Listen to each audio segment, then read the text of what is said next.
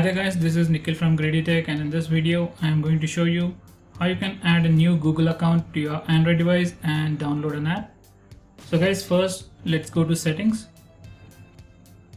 So once you're in settings, go to accounts and press add account. Now select Google.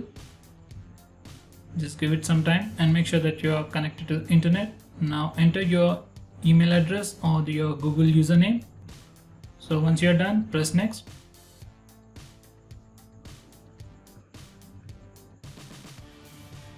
Now enter the password and press next.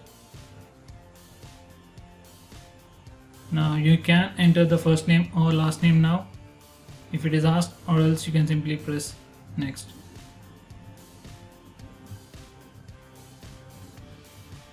And now press more and again press next.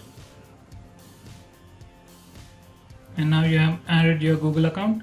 Now let's go to Play Store. Now you can install any app. For now I am going to install the MX player. So as you can see it is that simple to add a Google account and install any app that you want from Google Play Store.